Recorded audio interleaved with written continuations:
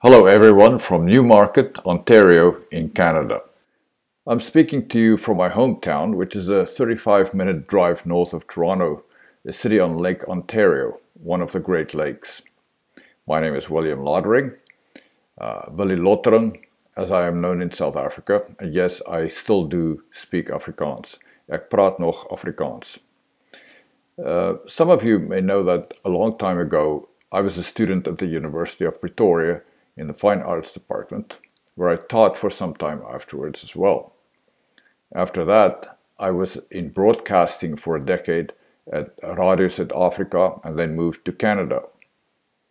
When Mike Edwards, my former professor and colleague, uh, took a sabbatical one year, I stood in to manage his sculpture department at Tuks. It was a huge responsibility as I was young, and I think my main concern was to keep it intact for the master's return. I'm happy to say uh, we are still speaking to each other, or rather, he is still speaking to me after that year. Uh, I recall a few important conversations with Mike after his return from North America. I was still a young artist seeking direction. One such meeting was in a restaurant in downtown Pretoria when he seriously talked about the future of art in South Africa and also my future. I realized that day uh, Mike had become a mentor to me and I remained close to him. And now, many decades later, this man has made such an impact on me that I can hardly write my own life story without crediting him for many of my attitudes, values, and especially my work ethic. He has left important, long lasting imprints on my psyche.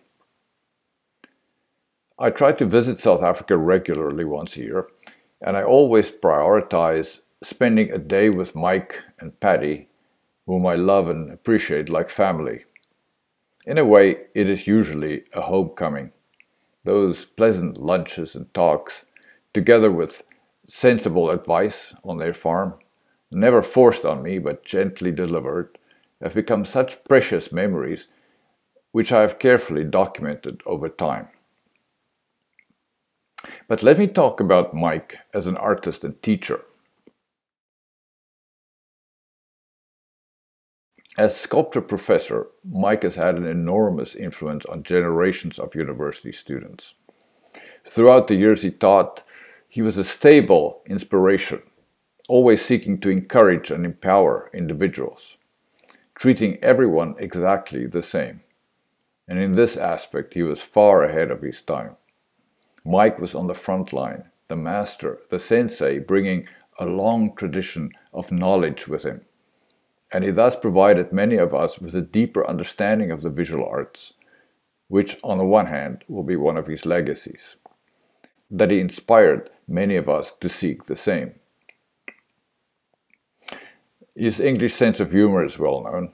When I think of it, the twinkle in the eyes always comes to mind, accompanied with his deep sense of pleasure. And then there's the laughter and the head shaking somewhat. And his distinguished velvety voice, which I hear so often in my head. His influence on my work, although I never became a fully fledged sculptor, was deep and lasting the way he kneads clay, studying with intense focus his subject, and then applying and adding, building the gray material with masterful strokes in coils. I remember him saying he used sausages of clay, coils, to shape a portrait. And I've been fortunate to watch him create a portrait several times, such as, for example, that of uh, Professor Floors van Jaarsveld. There was even a day when I became a grateful subject myself and stood for hours in his studio while he sculpted my portrait. It was such an honor, I will never forget it. When Mike left the university in the 1980s, uh, a few of my young friends uh, and I went to help him set up his studios on the farm. This is where Mike and Patty would live for many years. Yuri set up a successful bronze casting studio with his son Jonathan and processed and finalized many sculptures for himself and his peers. An example would be the horse sculptures at Sun City by Danie de Jager, who eventually became his major client. Over many years, uh, Mike produced castings with Jonathan uh, for exhibitions and monuments in New York, the Bahamas, Dubai, and many in Southern Africa.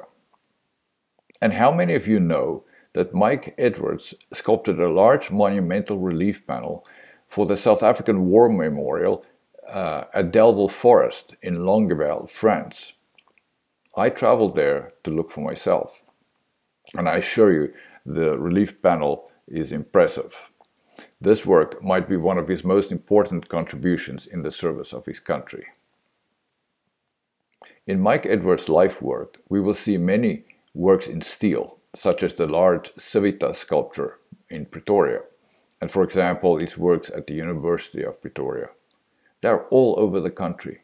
Recently, uh, I've seen one at the Edenvale Library in Johannesburg, uh, the Warrior II in bronze and mahogany. He also worked in wood, for example, his towers, and then combined materials. Here's a list of some important works. Tonkwane 1, bronze abstract. Marine 1, mixed wood. Marine form, stainless steel. Africa 2, stainless steel. Vinci, stainless steel. Shield, brass, growth forms, abstract, Jack Sandler door, info plan sculpture, that was a wall sculpture, African 1, bronze sculpture, W3 shield, uh, Tonkwane 2 bronze sculpture, and many, many more. I also remember way back in the 80s, the 1980s, yes, that's a long time ago, that I helped Mike move a large wood sculpture to an exhibition of staff work at the Old Merensky Gallery in uh, the University of Pretoria. We were so inspired to see that piece because of the new wood layering techniques he had applied. Mike said later, my enthusiasm absolutely made his day and the sculpture worthwhile. In this exhibition, you can see more of his ideas in wood. I'm far away from you right now, but I've seen the work in November last year when he was preparing for the show. Mike is by far one of the most important and best portrait sculptors in the country. He has worked with many models over the years, famous and unknown, children and adults, modest and important. On the extensive list, I will mention a few such as uh, portraits of many important artists in South Africa, such as uh, Frans Claerhout, Edouard de Villa, Bettie Cilliers-Barnard, and so on. There were also public figures like Danie Craven and Albert Werth, to name a couple, as well as justices, university rectors, lawmakers, bishops, generals, and state presidents such as C.R. Swart and Nelson Mandela. As I said before, Sylvie and I visited Mike and Patty while he was preparing for this exhibition. Taking us through his studio, he discussed with us at length his interesting subject matter, the thought process, and showed us his maquettes in wood and other materials. Again, reinforcing my understanding of this man as a thinker who never stops. In that sense, Mike is my example and I hope to do the same. His place in South African sculpture marks him as a great artist, one of the best I know. So I invite you, ladies and gentlemen, to take a walk through the exhibition and especially have a conversation with Mike. You'll find out some interesting things. Congratulations on this excellent exhibition, Mike.